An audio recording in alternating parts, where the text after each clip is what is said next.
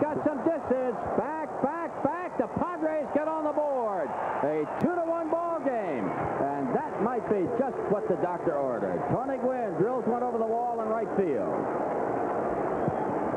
Jerry, quite frankly, Rick Reuschel doesn't have squat today, but the Padres, until Gwynn just hit that, really haven't been doing anything with the bats. He can be had. He is not pitching like the other giant pitchers in the series. Tony got a curveball and creamed it.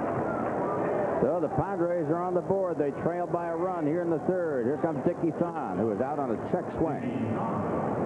Just a curveball, belt high. That's the same one that John Kruk took.